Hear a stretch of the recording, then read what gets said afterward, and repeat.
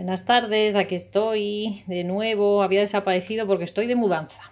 Y vengo a enseñaros un multiuso súper fácil y súper sencillo. Porque me he puesto a hacerlo para limpiar los somires por abajo, que los he visto con polvillo y ahora que lo estoy montando pues voy a aprovechar.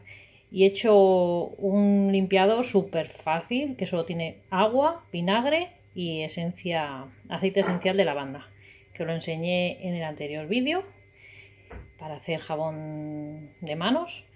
Y, como os dije, como tiene eh, un efecto por su olor antibichos, y en los somieres suele haber arañitas, se suelen hacer.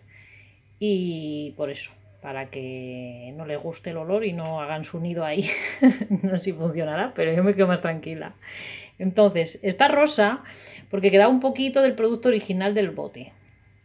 Que esto lo enseñé, este bote en el, en el de compras de Lidl y, era un rosa fuerte. Entonces, como debe tener bastante colorante, pues bueno, eh, queda un poquito y como el vinagre, pues es vinagre y agua, pues lo he mezclado, no pasa nada. Y le he echado 20 gotas de esencia de lavanda y nada, con este trapito le voy a pasar ahora por toda la parte de abajo de los somieres y, y así me evito que haya bichos. Y esto, esta mezcla de vinagre la uso para el polvo normal de cada día, que no hace falta un limpiador más fuerte.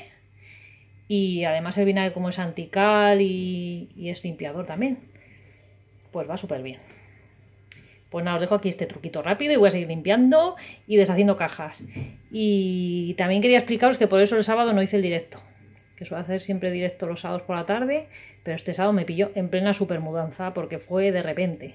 Nos dio el piso el sábado por la mañana y, y no pude avisar. Así que bueno, chicas, os dejo. Un besito.